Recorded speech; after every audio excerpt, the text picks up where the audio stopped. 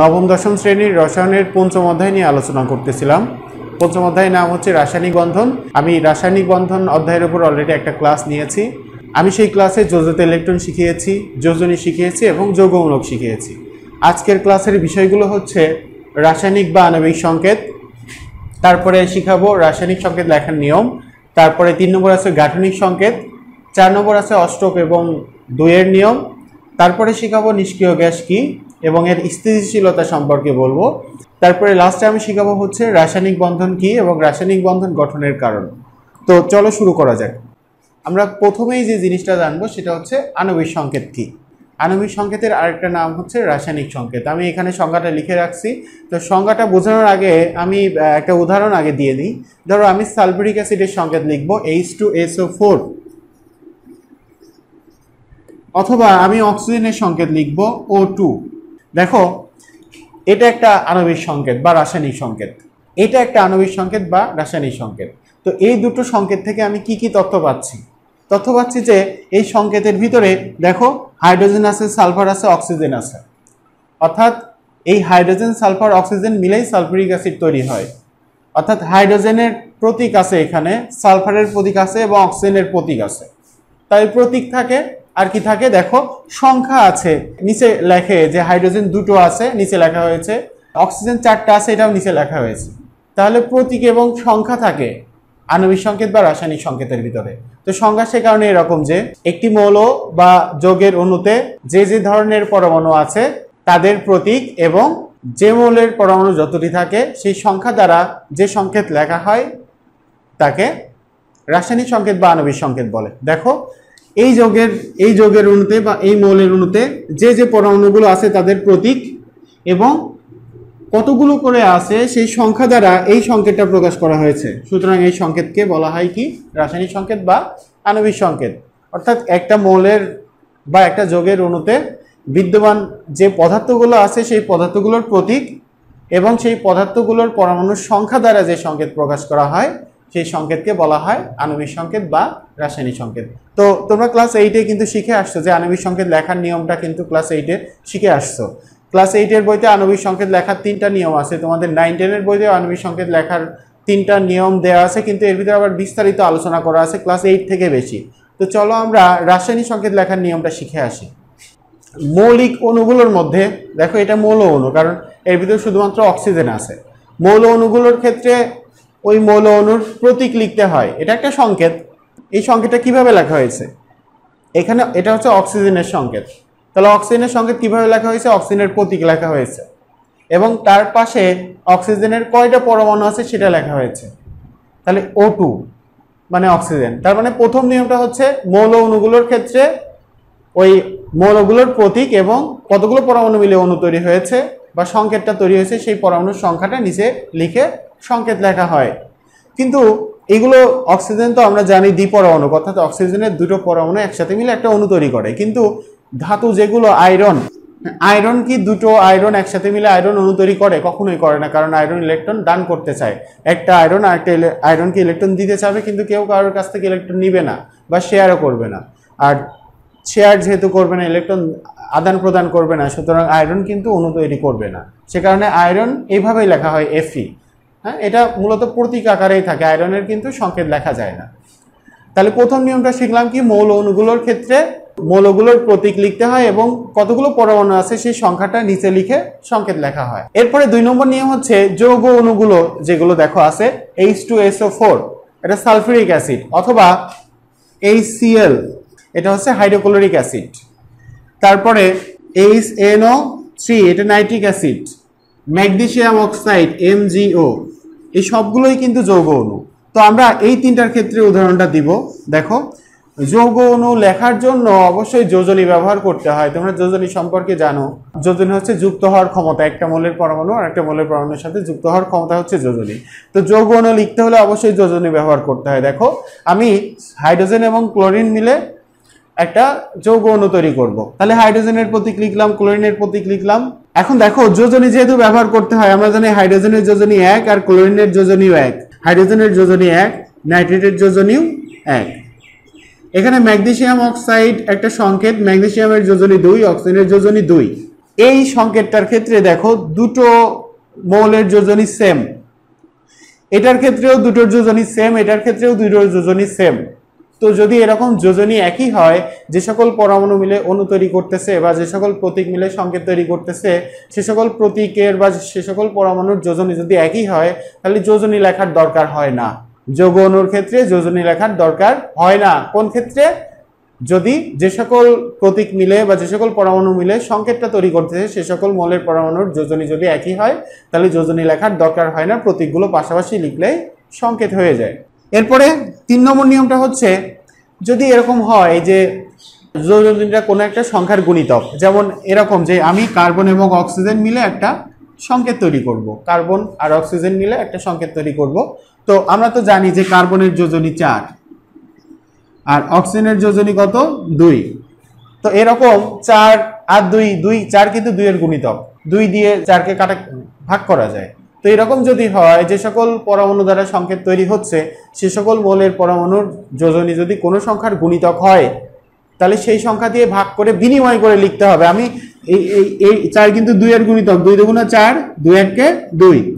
তাহলে কাটাকাটি করে দুই এক হলো, এই দুই যাবে ওর কাছে, বিনিময় করে লিখতে হবে। এই দুই যাবে ওর কাছে, এই এক যাবে এর কাছে। অর্থাৎ সি ওয়ান ও টু এটা লেখা যায় সি ও টু আমরা তো জানি ওয়ান লেখা লাগে না। তাহলে তিন নম্বর নিয়ম আমরা শিখলাম কি? যে সকল পরমাণু দিয়ে সংকেত তৈরি, সে সকল মৌলের পরমাণুর যোজনী যদি কোনো সংখ্যার গুণিতক হয়, তাহলে সেই সংখ্যা দিয়ে ভাগ করে, বিনিময় করে লিখতে হবে। এরপরে চার নম্বর নিয়মটা হচ্ছে, যদি এই দুটো অনুসরণ না করে, অর্থাৎ এইখানে কি অনুসরণ করলে, এখানে যে সকল মৌল দ্বারা সংকেতটা তৈরি হয়েছে, তাদের যোজনী একই। এবং এখানে কি কোনো একটা সংখ্যার গুণিতক, যদি এই দুটো শর্ত কোনোটাই না মানে তখন কি হবে? দেখো, এ একটা মৌল যার যোজনী হচ্ছে এক্স আর বি একটা মৌল যার যোজনী হচ্ছে ওয়াই তাহলে আমরা এ বি পাশাপাশি লিখব লিখব হচ্ছে এ ওয়াই ডি এক্স অর্থাৎ এর যোজনী যাবে বি এর কাছে বি এর যোজনী যাবে এর কাছে। যেমন আমি অ্যালুমিনিয়াম এবং অক্সিজেন মিলে একটা সংকেত লিখব। আমরা জানি অ্যালুমিনিয়ামের যোজনী কত? তিন, আর অক্সিজেনের যোজনী কত? দুই। তাহলে আমরা এখানে দুই লিখব, এখানে তিন লিখব, অর্থাৎ অর্থাৎ A L two O three হচ্ছে অ্যালুমিনিয়াম অক্সাইডের সংকেত। তো আমরা সংকেত লেখার কিন্তু চারটা নিয়ম শিখেছি, আমি আবার নিয়মগুলো একটু রিপিট করতেছি। প্রথম নিয়মটা শিখলাম যে মৌল অনুর সংকেত যখন লিখব, তখন ওর প্রতীক লিখতে হবে এবং কতগুলো পরমাণু আছে সেটা পাশে লিখতে হবে। যেমন অক্সিজেন ও টু প্রতীক লিখেছে এবং কতগুলো পরমাণু আছে সেটা লিখেছে। এরপরে দুই নম্বর হচ্ছে যৌগ অণু যেগুলো আছে, সেগুলোর ক্ষেত্রে কি করতে হয়? যৌগিক পদার্থের অণু যে মৌলগুলো দিয়ে যৌগিক পদার্থের তৈরি, সেই মৌলগুলোর প্রতীক পাশাপাশি লিখতে হয় এবং তাদের যোজনী যদি একই হয়, তাহলে যোজনী লেখার দরকার হয় না। পাশাপাশি প্রতীকগুলো লিখলেই সংকেত হয়ে যায়। তিন নম্বর শিখলাম আমরা যে যে মৌলগুলো দিয়ে সংকেত তৈরি হচ্ছে, সেই মৌলগুলোর যোজনী যদি কোনো সংখ্যার গুণিতক হয়, তাহলে সেই সংখ্যা দিয়ে ভাগ করে, বিনিময় করে লিখতে হয়। এবং লাস্টে যেটা শিখলাম, যদি এই দুটো শর্তের কোনো শর্ত না মানে অর্থাৎ অর্থাৎ যদি যোজনী একই না হয় অথবা কোনো সংখ্যার গুণিতক না হয়, তখন কি করতে হয়? এ এর যোজনী যদি হয় এক্স আর বি এর যোজনী যদি হয় ওয়াই তাহলে সংকেত হবে এ ওয়াই ডিএক্স যেমন অ্যালুমিনিয়াম অক্সাইড, অ্যালুমিনিয়ামের যোজনী তিন, অক্সিজেনের যোজনী দুই, তাহলে কি হবে? এ এল টু ও থ্রি আমাদের পরবর্তী টপিকসটা হচ্ছে গাঠনিক সংকেত। তোমরা জানো, মিথেনের সংকেত জানো সিএইচ ফোর তোমরা ক্লাস এইটে যখন সংকেত লেখার নিয়ম শিখেছিল বা যোজনী শিখেছিলা। যোজনীর পরেই সংকেত লেখার নিয়ম আছে এইটের বইতে। তখন যোজনী কিন্তু হাতের সাথে তুলনা করা হয়েছিল।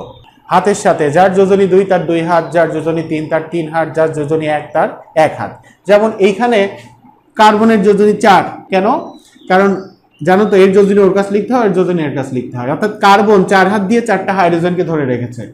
তোমরা ওইখানে দেখেছিলা যে কার্বন এই পাশে এরকম, চারপাশে চারটা দাগ দিয়ে